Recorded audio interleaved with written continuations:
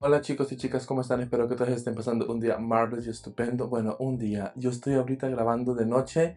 Mañana tengo fiesta de lo que es mi trabajo y estoy grabando prácticamente a la una de la madrugada ya que hace una calor que es que no la soporta nadie. Así que me he decidido a estar grabando hoy. Hoy vamos a estar haciendo una reseña de esta paleta de Moira, algunos productos que me han enviado también Guerlain y muchos productos más. Así que sin más dilación, dentro vídeo.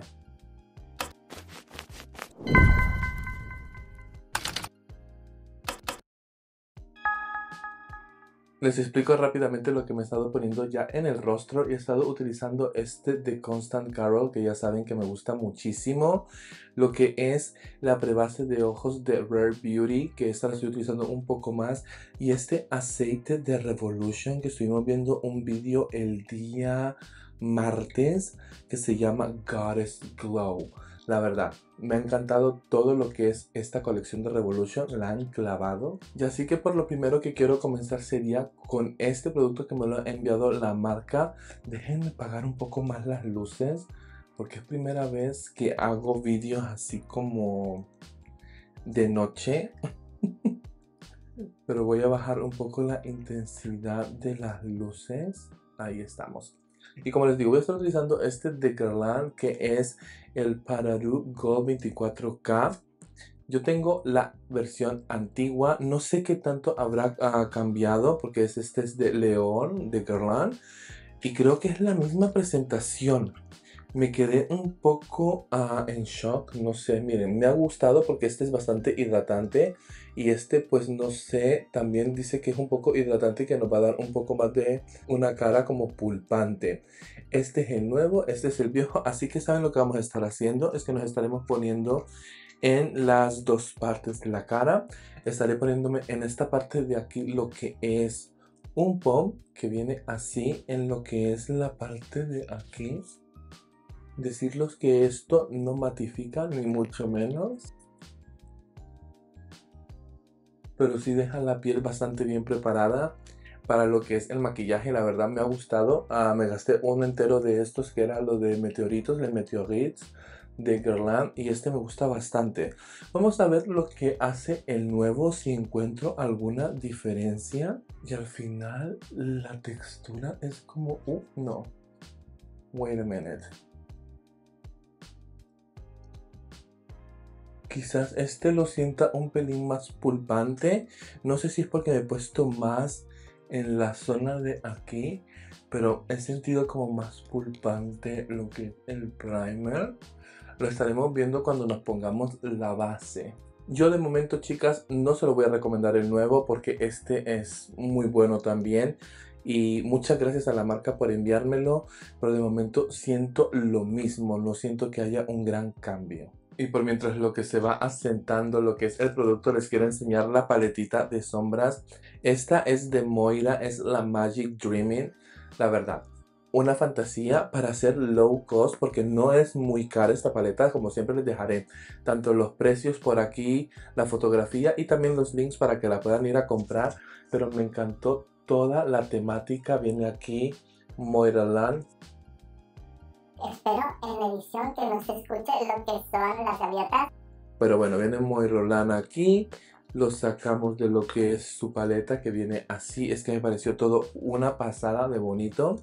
Viene lo que es la paleta así, serigrafiada, súper linda. Y cuando la abrimos viene con espejo y viene lo que es como unos tickets, que es para subirte a los juegos de la feria y me pareció muy inteligente que aquí vienen lo que son las redes sociales y esta es la historia de color de la misma. Así que voy a estar utilizando al principio este rosita de aquí que no sé si la luz es un rosa como lo que es uh, el colorete de Dior Backstage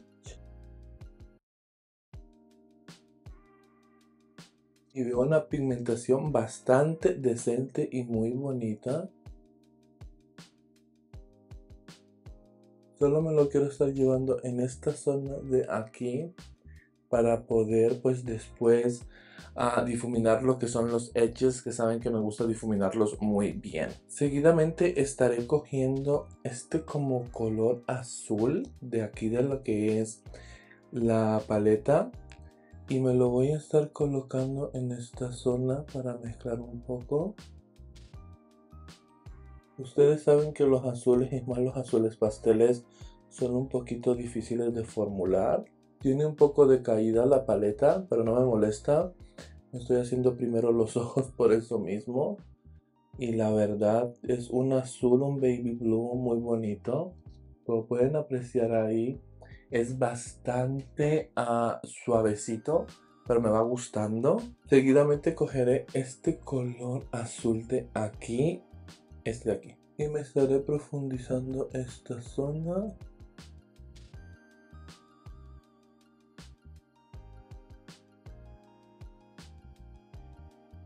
bonitas las sombras, estoy quedando impactado la verdad. Y seguidamente estaré cogiendo lo que es como este morado más profundo de la paleta y me estaré profundizando la V externa, esto de aquí y lo iré sacando para afuera.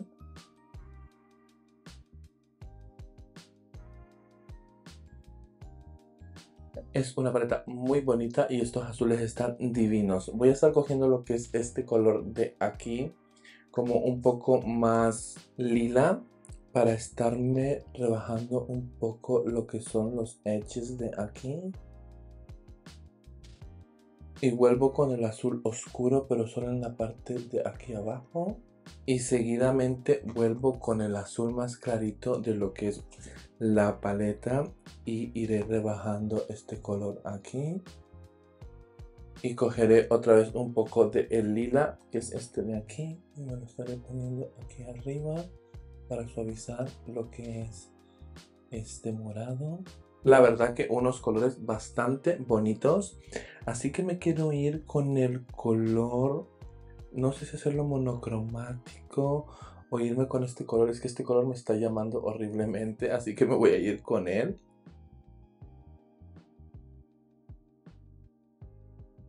Es muy bonito porque es como un topper, así que me estaré yendo con lo que es este color azul primero y luego ya pondré este de topper seguramente porque me ha gustado. Y me estaré poniendo este azul aquí. Oh, qué bonito. Eh, miremos este azul. He flipado. Es que he flipado. Ahora estaré poniéndome este color, como les digo, como los destellos en esta parte y lo integramos. Y saben que esta sombrecita que me estoy poniendo en el inner corner es bastante cremosita, como pueden apreciar ahí. Es que es súper cremosa. Es que honestamente no tienen nada que envidiarles a la alta gama Súper recomendada esta paleta de Moira. Pues lo que les comentaba sobre lo que son los primers, siento lo mismo. O sea, no siento una diferencia. Así que me estaré poniendo lo que es base y de base estaré utilizando esta de Save Beauty y también estaré utilizando su bronzer. Y luego nos iríamos con corrector. Si me queda tiempo, si veo que no es muy largo lo que es el look de ojos, lo estaré haciendo a cámara rápida.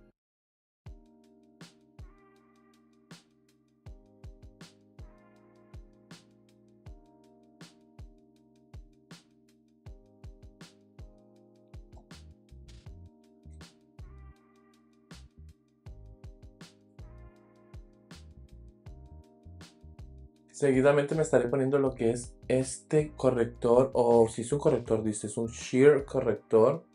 Un corrector así como muy bajito, que es eh, de Glowish by Hura Beauty. Este es en la tonalidad Medium 5. Vamos a ver qué tal, a ver si me cubre las ojeras o será como el de Rare Beauty. Eso lo estaremos viendo ahora mismo. De momento siento que la formulación no es tan cubriente, pero bueno, la marca ya lo dice también. Así que, ¿saben qué? Vamos a difuminar.